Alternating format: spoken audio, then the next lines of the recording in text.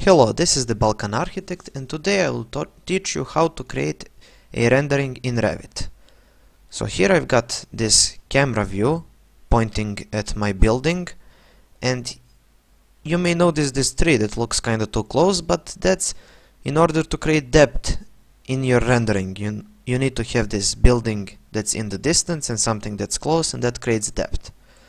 Now to in order to see what size of your rendering you will have, you'll need to select this crop size and you go here, crop size, and you can see your width and your height. Now this is in millimeters, if you're using inches, you will have it in inches. So now you can see field of view, but you need to select scale in order to change this rendering and keep the proportion. So now I can change this number but this number will change accordingly. So if I go 500 and I go apply you see the height changes accordingly. Now I will go cancel. I will undo that. Now we'll zoom in. I have changed this. Maybe it's better to have it in hidden line. And now we need to render. So now you go to view and you have here render the shortcut is RR. You can render in cloud, but I don't like it because then CIA knows what your building looks like. Just kidding. So I will hit RR for shortcut for rendering. Here we've got this render window. We've got this render button up here. We'll hit that later. First we need to set up quality. So I usually go with high. This quality doesn't mean the density of the pixels. This just means how will the computer calculate all the shadows and reflections and the higher you go up over here there will be more reflections and everything. But I think high is as high as you should go. Anything more than that slows down the rendering needlessly.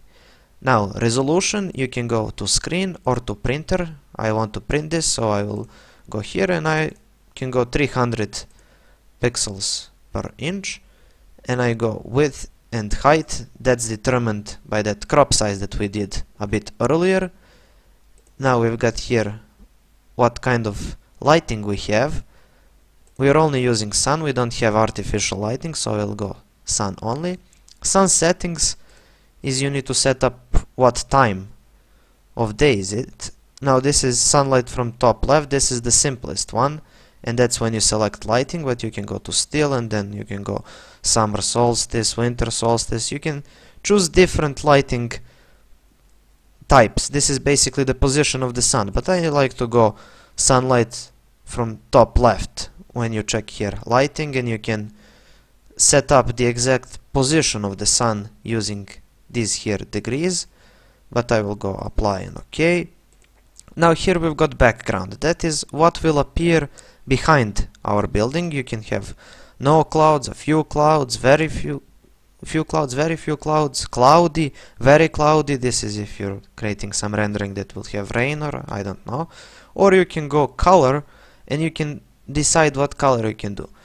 If you go with this green, then you can later in post-production you can select just the green and use it as a green screen basically to put whatever image you want in the background. But I will go cancel and I will go with few clouds that I found out looks best.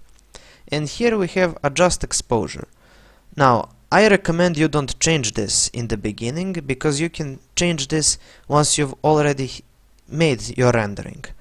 So I will go cancel and once everything is set up I will hit render. Now because we don't want to wait for this rendering to be over I will cancel it I will go stop. Uh, do you want you are you sure? Yes I'm sure. So I will go escape. It's not important but you basically get an image that looks like this. And then with just a little post-production in Photoshop you can get it looking like this.